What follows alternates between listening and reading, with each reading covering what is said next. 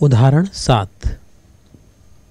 भवन के शिखर से भूमि पर स्थित एक गमले का अवनमन कोण 30 अंश है।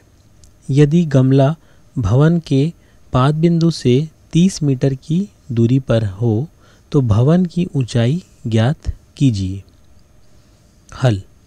माना ए बी भवन है और बिंदु ओ गमला है। अवनमन कोण कोण एक्स ए ओ बराबर तीस अंश और ओ बी बराबर तीस मीटर। कोण एक्स ए ओ बराबर कोण ए ओ बी बराबर तीस अंश। एकांतर कोण? त्रिभुज। ओ ए बी में। टेन, तीस अंश हम लेंगे त्रिभुज में। टेन, तीस अंश बराबर लंब है हमारा ए बी, क्योंकि टेन जो होता है, टेन थीटा, लंब बटा आधार होता है। लंब है हमारा ए बी और आधार है ओ बी। तिरिया गुणा करेंगे हम ओ बी का बाएँ पक्ष पर।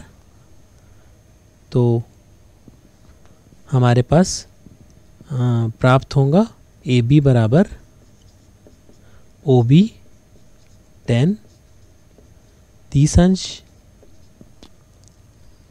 या ओ बी का मान हम जानते हैं, ये तीस है, दिया है गुणा टेन तीस अंश का मान हम जानते हैं ये एक बटा वर्मूल तीन होता है। इसको गुणा करने पर हमें प्राप्त होगा तीस वर्मूल तीन, और इसका हर का परिमयकरण करेंगे हम यहाँ पे वर्मूल तीन से।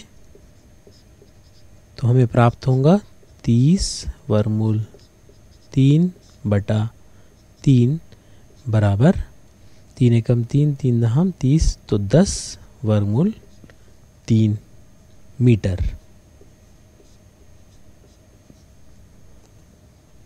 अतः भवन की ऊंचाई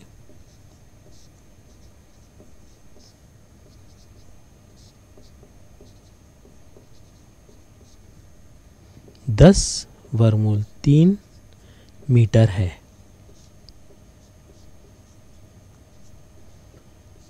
इस तरह से हमने भवन की ऊंचाई ज्ञात की, दस वर्मूल तीन मीटर। यह इस उदाहरण का हल होगा।